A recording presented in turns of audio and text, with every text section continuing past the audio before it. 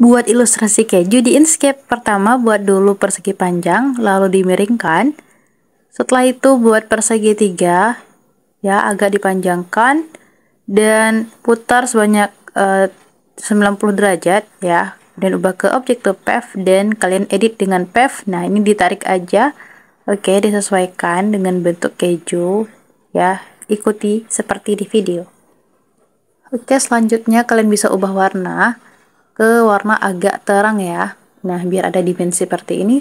Kemudian buat lingkaran ya buat lingkaran dan duplicate pindahkan ke bawahnya. Ah supaya ada bayangannya nih shadownya kemudian itu kalian tinggal copy-copy aja ya copy di sembarangan seperti ini. Oke ditaburkan ya. Hmm, kemudian kecilkan ukurannya ya biar bervariasi Nah, setelah itu kalian buat juga itu lingkaran ya. Kemudian uh, letakkan di uh, pinggir-pinggir ya seperti ini. Nah, kemudian kita gabungkan pakai pave ke union. Nah, setelah itu kalian pilih lingkaran tadi dan segitiga di atasnya. Kemudian pilih pave dan pilih different.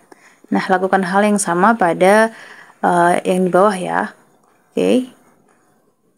Sama different. Nah, kalau udah gini buat backgroundnya, pilih warna yang kalian sukai dan taruh outline-nya. Selesai.